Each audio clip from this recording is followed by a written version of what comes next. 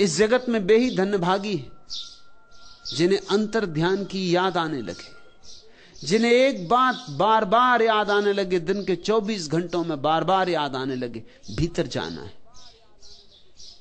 और जो जब मौका मिल जाए, तब भीतर सरक जाएँ। एक जैन फकीर को निमंत्रित किया था कुछ मित्रों ने भोजन के लिए, सात मंजिल मकान जापान की कहानी है। अचानक भूकंप आ गया। जापान में भूकंप बहुत आते भी। भागे लोग। गृहपति भी भागा। सातवीं मंजिल पर कौन रुकेगा जब भूकंप आया हो? सीढ़ियों पर भीड़ हो गई। बहुत मेहमान इकट्ठे थे, कोई पच्चीस मेहमान थे। गृहपति द्वार पर ही अटका है। तभी उसे ख्याल आया कि प्रमुख मेहमान का क्या हुआ? उस जैन फकीर का क्या हुआ? लौट कर देखा, वह फकीर तो अपनी कुर्सी पर पालथी मार के बैठ गया है। आँखें बंद। जैसे बुद्ध की प्रतिमा हो, संगमरमर की प्रतिमा हो, ऐसा शांत, ऐसा निश्चल। उसका रूप, उसकी शांति, उसका आनंद सम्मोहित कर लिया गृहपति को। खिंचा चलाया जैसे कोई चुंबक से खिंचा चला आता है। बैठ गया फकीर के पास। भूकंप आया और गया। फकीर ने आँख खोली। जहाँ से बात टूट गई थी भूकंप के कारण, वहीं से उसने बात शुरू कर दी। गृहपति ने कहा, मुझे अब कुछ भी याद नहीं कि हम क्या बात कर रहे थे। ये बीच में इतना बड़ा भूकंप हो गया है। सारे नगर में हाहाकार है। इतना शोरगुल मचा है। इतना बड़ा धक्का लगा है। मुझे कुछ भी याद नहीं, हम कहा, क्या बात कर रहे थे, अब उस बात को आप शुरू ना करें। अब तो मुझे कुछ और पूछना है। मुझे यह पूछना है कि हम सब भागे। आप क्यों नहीं भागे? फकीर ने कहा, भागा तो मैं भी। मैं भीतर की तरफ़ भागा, तुम बाहर की तरफ़ भागे।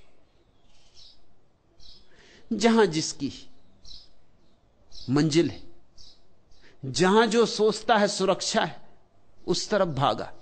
और मैं तुमसे कहता हूँ, तुम्हारा भागना व्यर्थ, क्योंकि भूकंप यहाँ भी है, भूकंप छठवीं मंजिल पर भी है, भूकंप पांचवी मंजिल पे भी है, भूकंप चौथी मंजिल पे भी है, भूकंप सब मंजिलों पर है। भाग कहाँ रहे हो? जो पांचवी मंजिल पे हैं, वो भी भाग रहे हैं। जो तीसरी मंजिल पे हैं, वो भी भाग रहे हैं। भूकंप सड़कों पे भी जो सड़कों पे हैं, वो भी घरों की तरफ़ भाग रहे हैं। हर एक भाग रहा है। लेकिन तुम भूकंप से भूकंप में ही भाग रहे हो। मैं भी भागा। मैं भीतर की तरफ़ भागा।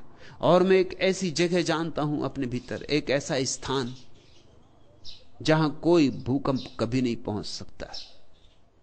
जहाँ कोई कंप ही नहीं पहुँचता। भूकंप की बात छोड़ दो।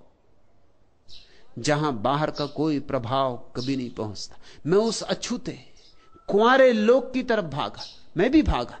यह ना कहूँगा कि नहीं भागा। तुम्हारी समझ में ना आया हो, क्योंकि तुम एक ही तरह के भागने को पहचानते हो। मैं हाथ पैर से नहीं भागा। मैंने शरीर का उपयोग नहीं किया, क्योंकि इसका उपयोग तो बाहर की तरफ़ भागना हो, तब करना होता है। शरीर तो मैंने शिथिल छोड़ दिया, विश्राम में छोड़ दिया। और सरक गया अपने भीतर। वहाँ बड़ी सुरक्षा है, क्योंकि वहाँ अमृत है, वहाँ कोई मृत्यु नहीं। चिंता थी मुझे तो सिर्फ़ एक, कि कहीं ऐसा ना हो कि भीतर पहुँचने के पहले मर जाऊँ। बस जब भीतर पहुँच गया, फिर निश्चिंत हो गया। अब कैसी मौत? अब किसकी मौत? बस चिंता थी तो एक कि ध्यान में मरू, भूकंप आ गया। मौत तो कभी ना कभी आनी ही है, आती ही है। एक ही ख्याल था कि ध्यान में मरू। ध्यान में जियो, ध्यान में मरो। मंजू, याद आने लगी है? इस याद को गहराओ, सींचो, संभालो। अनजाने चुपचाप अध खुले वातायन से आती हुई जुनाई साही, तेरी छवि का सुधि सम्मोहन आज बिखर कर सिमट चला है मेरे मन में। छलक उठा है उर का गागर, किसी एक अज्ञात ज्वार से, किन सपनों के मदिर भार से, किन किरणों के परस प्यार से। पल भर में यो आज अचानक, यह किस रूप परी विरहन के उर की पीड़ा मेरे जी में भी चुपके से तिर आई है, यूँ अनजाने गूंज उठा है अंतर जीवन किस फेनिल अरुणाभ राग से, किन फूलों के मधुपराग से पुलकित हो आया है आकुल मधु समीर जी के इस कानन में भी फूली है सरसों। इस वन का भी कोना कोना है भर उठा अकथ छलकन से, प्राणों के कनकन से। एक वातायन खुल रहा है। एक पर्दा सरक रहा है। सहयोग करो, साथ दो। जल्दी ही बहुत कुछ होने को है। किसने मेरे ख्याल में दीपक जला दिया? ठहरे हुए तालाब का पानी हिला दिया।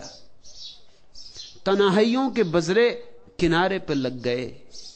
ऐसा यकीन हमको किसी ने दिला दिया। यह क्या मज़ाक है कि बाहरों के नाम से पूरा चमन मिठा के नया गुल खिला दिया। मुद्दत गुजर गई थी हमें, यूँ ही चुप हुए। कल से बहक उठे हैं, हमें क्या पिला दिया। मंजू, पियो। यह तो मधुशाला है। मैं तुम्हें कोई सिद्धांत नहीं सिखा रहा हूँ। शुद्ध शराब पिला रहा हूँ। अंगूरों से निचोड़ी हुई नहीं, आत्मा से निचोड़ी हुई। पियो, जी भर के पियो। नाचो, गाओ, गुनगुनाओ। और जितने क्षण मिल जाएँ, जब मिल जाएँ, तब चल पड़ो भीतर की तरफ़। भूकंपों की प्रतीक्षा मत करो। क्योंकि भूकंपों में भीतर वही पहुँच पाएगा, जो भीतर जाता ही रहा है, जाता ही रहा है, जो रोज आता जाता रहा है। वह जैन फकीर अपने भीतर पहुँच सका, क्योंकि रास्ता परिचित था, बहुत बार आया गया था। यह मत सोचना कि मौत जब आएगी, तब अचानक ध्यान कर लेंगे यह नहीं होगा। मौत अचानक आएगी, जीवन भर धन की चिंता की थी, मरते वक्त की धन की ही चिंता तुम्हारे सिर पर सवार रहेगी। अगर पद की आकांक्षा की थी तो मरते वक्त भी पद की ही नशे नहीं चढ़ते रहोगे। कल्पना में। मृत्यु के क्षण में तुम्हारा सारा जीवन संग्रहित होकर तुम्हारे सामने खड़ा हो जाता। है तुमने ये बात तो सुनी होगी ना कि जब कोई आदमी नदी में डूब के मरता है तो एक क्षण में सारा जीवन उसके सामने दौड़ जाता है। यह बात सभी के संबंध में सच है। नदी में डूब के मरने वालों के संबंध में ही नहीं। मरती घड़ी में तुम्हारा सारा जीवन सिकुड़ के। जैसे हज़ारों हज़ारों फूल से एक बूंद इत्र निचोड़ते हैं, ऐसे तुम्हारे सारे जीवन के अनुभव से एक बूंद निचोड़ाती। लेकिन अगर तारा तुम्हारा सारा जीवन दुर्गंध का ही था तो बूंद दुर्गंध की होगी। अगर सारा जीवन सपना ही सपना था तो यह बूंद भी सपना होगी। और अगर जीवन में तुमने कुछ सत्य भी कमाया था, कुछ ध्यान भी कमाया था, कुछ प्रेम भी जगाया था, कुछ बांटा भी था, कुछ लुटाया भी था, छीना झपटा ही ना था, कुछ करुणा भी की थी तो तुम्हारी अंतिम क्षण की जो प्रतीति होगी, सारा जीवन निचोड़ के एक इत्र की बूंद बन जाएगा। उसी इत्र की बूंद पर सवार होकर तुम परमात्मा की यात्रा पर निकलोगे। मंजू, शुभ हुआ है। अब इस घड़ी को, इस बलिहारी की घड़ी को छिटक मत जाने देना। ज़ोर से पकड़ रखना। अब पकड़ने योग कुछ तुम्हारे पास है। और ध्यान रखना, जिनके पास कुछ नहीं है उनके पास गमाने को भी कुछ नहीं होता।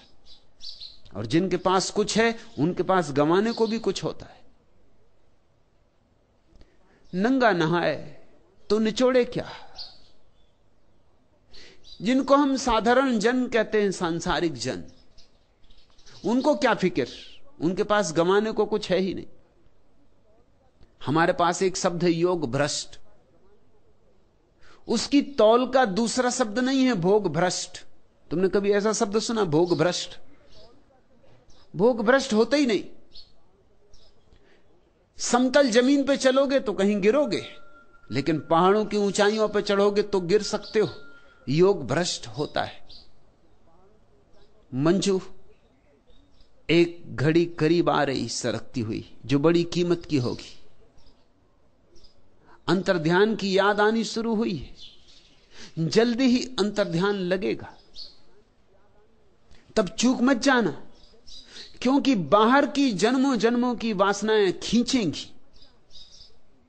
बाहर की जन्मों जन्मों की आदतें खींचेंगी। हज़ार बाधाएँ खड़ी होंगी। मन अंतिम उपाय करेगा अपने को बचा लेने का, क्योंकि ध्यान मन की मृत्यु है। और कौन मरना चाहता? मन भी मरना नहीं चाहता है